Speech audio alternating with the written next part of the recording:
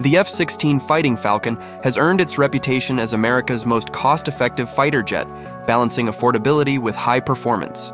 Developed in the 1970s as a lower cost alternative to the F 15 Eagle, the F 16's lightweight design and single engine configuration reduced both production and operational expenses. Early variants like the F 16AB cost around $13 million in the 1980s, while modern F 16EF models range from 25 to $70 million depending on upgrades. This pricing remains far below advanced fifth generation jets like the F 35 Lightning II, which exceeds $170 million per unit. Despite its age, over 4,600 F 16s have been built, with 800 plus still active in the U.S. Air Force alone.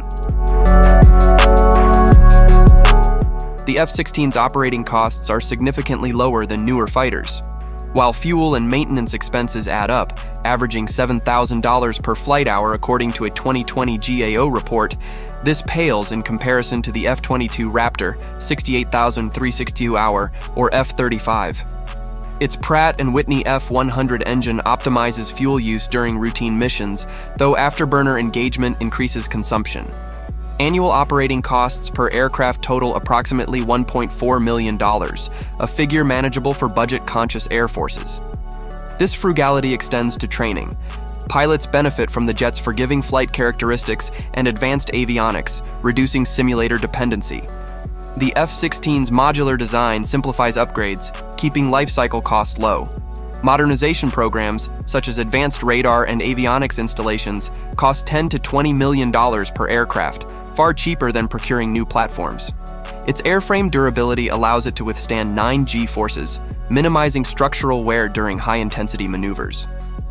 Additionally, a global supply chain for spare parts, driven by its use in 25 plus countries, ensures affordable maintenance logistics. The F 16's affordability shines when contrasted with peers.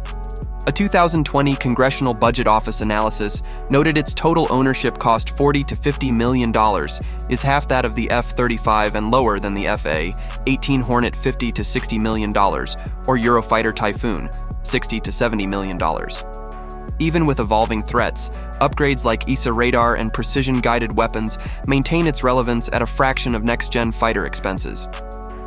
This cost effectiveness has made it a preferred export product, with nations like Poland and Slovakia recently purchasing updated variants. Over 45 years, the F 16's multi role versatility, excelling in air to air combat, ground strikes, and electronic warfare, has justified its economics. Its combat proven track record includes 400,000 plus sorties and 19 million flight hours. As defense budgets tighten, the F 16's blend of low acquisition cost, operational flexibility, and upgrade potential ensures its place as a cornerstone of affordable air power, likely flying well into the 2040s.